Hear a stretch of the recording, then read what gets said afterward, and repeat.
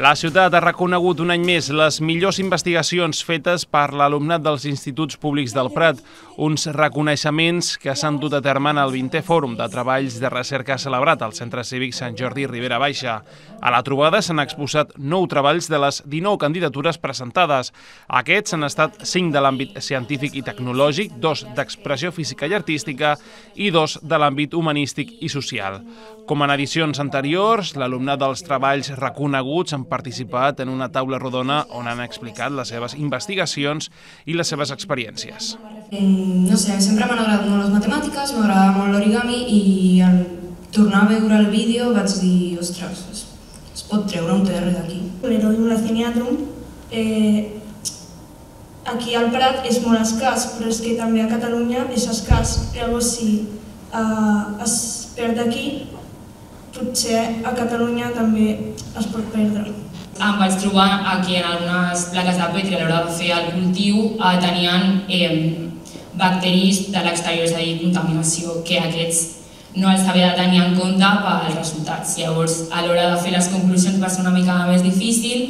Una de les condicions de la Inmotif és que ha de ser una cadena que tingui moltes citosines, perquè formen parells i es col·loquen en una disposició intercalada. També han explicat què els ha aportat i han donat algunes pautes pels i les estudiants que hauran de fer els seus treballs de recerca l'any vinent. L'antelació i que sigui alguna cosa que t'agrada. Jo la part pràctica la vaig realitzar a, a l'acabar quart d'ESO, aquest estiu, vaig poder anar als laboratoris de la UB i vaig anar i ara aquest segon de batxillerat ho he agraït moltíssim. I així doncs, si no sóc jo qui toca, seré jo qui controli el so i si no seré jo qui parli del concert. O sigui, sigui que sigui música, o sigui, per tots els costats, música. Jo sempre he tingut bastant clar que vull fer, em vull dedicar, em vull ser actriu, però sí que és veritat que la meva família sempre hi ha hagut molt d'interès eh, per l'orca, sobretot, i per, per l'època aquesta de la Guerra Civil, eh, com va afectar la cultura. Hi ha molts artistes, Miguel Hernández, Lorca, els més reconeguts, entre, entre molts altres, Llavors, no m'ha ajudat a decidir-ho perquè porto tota la vida tenint-ho molt clar, però sí m'ha ajudat a concretar que, i a donar-me compte que aquesta època m'interessa molt. Sempre m'ha agradat molt els castells i he estat dins del món casteller i em va semblar doncs, molt interessant poder fer un treball parlant sobre el món casteller. I bueno, sobre el futur, eh, bueno, eh, a mi m'agradaria estudiar educació també primària.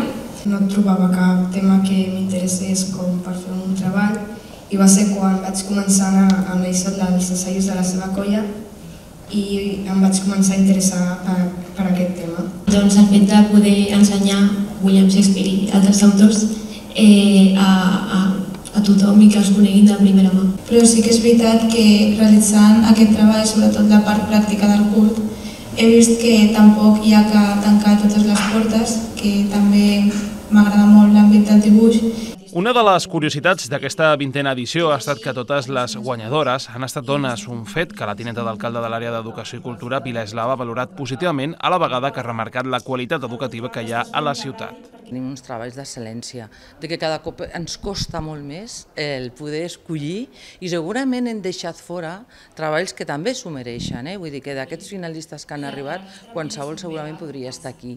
Però bueno, hi ha treballs de veritat d'excel·lència i això és el que ens fa pensar pensar és en, en aquesta qualitat educativa no, que tenim a, als centres educatius de la ciutat.